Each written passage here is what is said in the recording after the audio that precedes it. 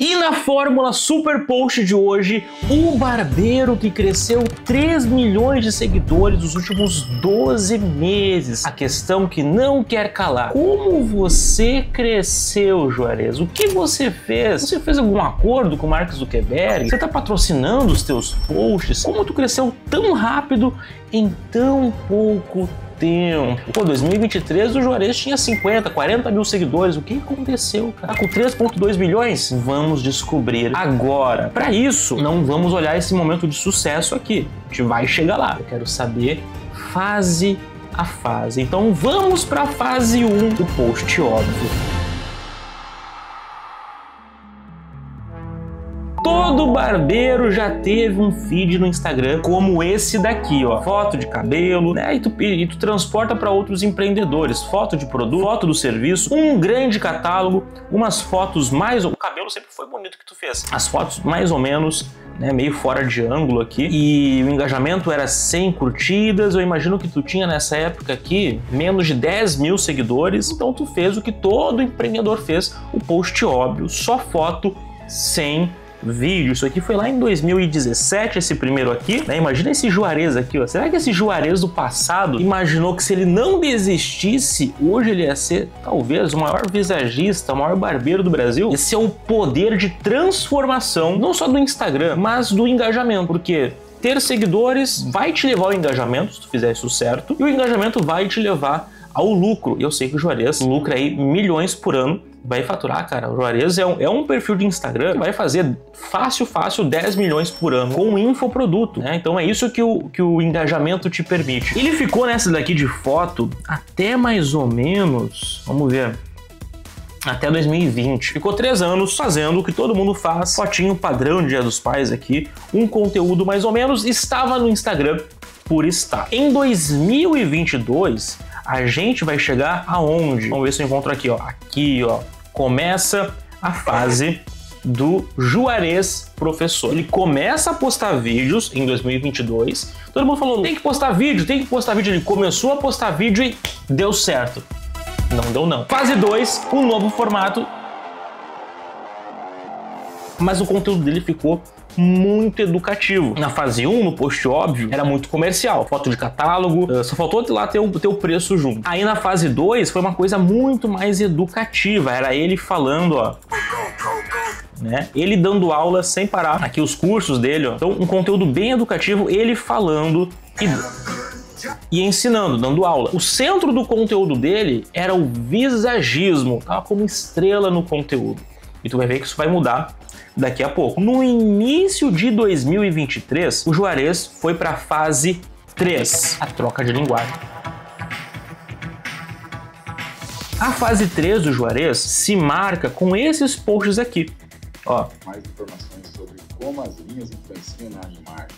Observe o formato dessa barba, observe o formato da sobrancelha, do rosto, das linhas que compõe a imagem do João. É o Juarez que está narrando a transformação. É ele que fala. O centro do conteúdo ainda é o visagismo. Nesse conteúdo ele só mostra o cliente, ele não aparece depois ele mostra a transformação através do visagismo. E aí, em 2023, ele começa a aparecer aqui no site Instrack.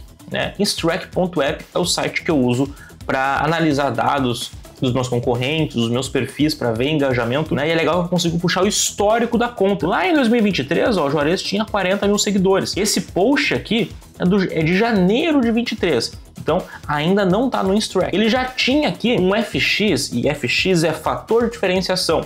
Ele já tinha um fator de diferenciação audiovisual. Na edição aqui, ó, ele bota as linhas do, do, de como que é o rosto, explicando o racional por trás do visagismo. Já é uma diferenciação que o Juarez colocou aqui no conteúdo dele, né?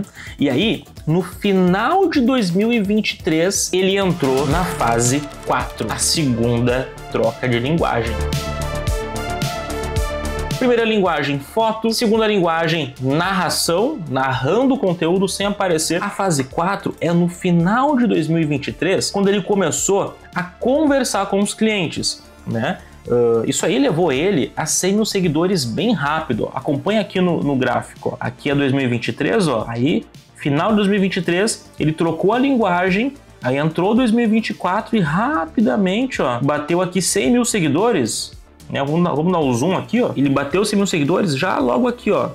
29 de dezembro de 2023 ainda, né? 2023 ainda, ele bateu 100 mil seguidores. A fase 4, o conteúdo que fez ele bater foi esse daqui, ó. Mais pra frente ainda, lá pro final de, de 23, né? Esse aqui é um que ele já começa, ó. Essa parte da, da cabeça aqui, ó. O redemoinho sai aqui, tem um outro bem aqui que joga o cabelo pra cá e um pouco pra cá. Só precisamos marcar o, o formato do rosto mais pra ficar mais acentuado. Tu percebe que agora ele não tá narrando conteúdo para você de uma forma educacional. Conversando, é uma linguagem conversada. É diferente tu narrar um vídeo, fazer uma locução, de fazer de conversar com o teu cliente. Mas ainda é o Juarez que está falando o tempo todo. O que, que ele está explicando? Está explicando ainda o visagismo. É o visagismo no centro do corte.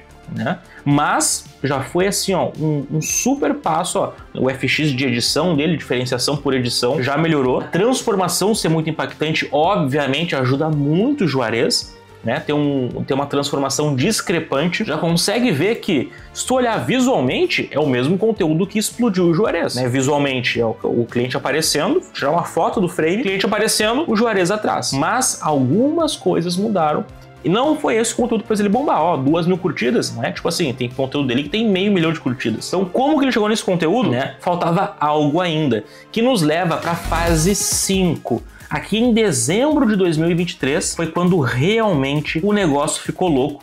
Ele começou a acelerar ó, muito rápido. Ó, janeiro, 200 mil, né? Fevereiro, 700 mil seguidores. Março, 1 milhão e 700 abril 2.4 milhões, junho 3 milhões, agosto 3 milhões, cara, e aqui tá com 3 milhões e 200 agora. Qual foi o conteúdo que fez ele explodir de fato? É um conteúdo que surgiu aqui em dezembro de 23. Ó, tu pode ver que ele começou já a viralizar alguns conteúdos aqui, ó, 60 mil, 4 mil, mas não era consistente, ele não viralizava consistentemente. Ó, quando ele começou a viralizar alguns desses conteúdos aqui, ele começou a postar mais, ó. Tá postando aqui basicamente um vídeo por dia.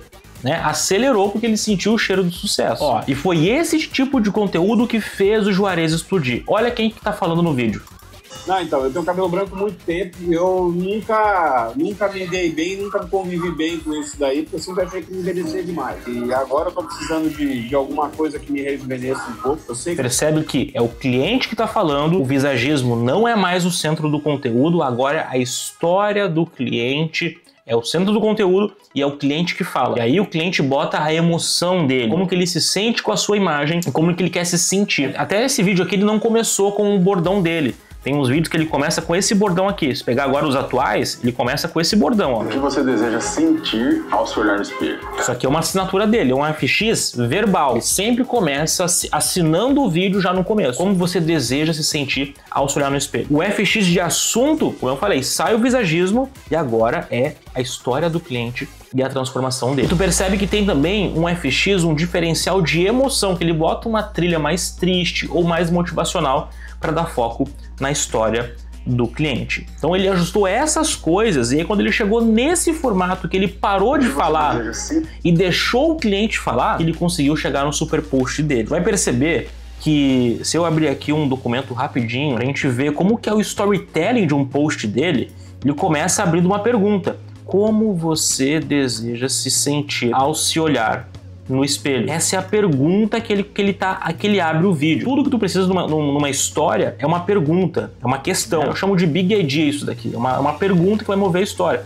No cinema é tipo assim, o Thanos vai vencer os Vingadores? É a pergunta que move a história. Aí o cliente constrói essa história com emoção e prende você até o clímax. O cliente vai desenvolver isso daqui, desenvolver, e vai ter um clímax. Qual que é o clímax da história? O clímax da história é o resultado, é o resultado final mais a reação do cliente de emoção, de felicidade se vendo transformado.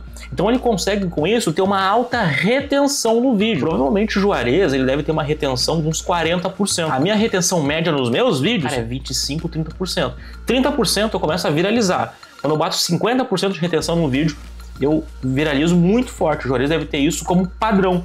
E foi isso que ele fez para chegar e acelerar desse jeito. Agora todos os vídeos do Juarez batem aqui 250 mil, 60 mil, 35. 180. Por quê? Porque não, não é o visagismo no centro, é a transformação e a reação emocional do cliente. Moral da história, te inscreve no canal, curte o vídeo e não desiste de postar. O teu super post pode estar a uma, duas fases. Cara, tu pode estar muito perto de descobrir o teu super post. Quando tu descobre, eu tenho vários alunos que saíram do zero a 200 mil seguidores em 30 dias. Na descrição desse vídeo tem um link que eu vou te ajudar a encontrar o teu super post de graça. Clica nele. Tamo junto e bora postar diferente.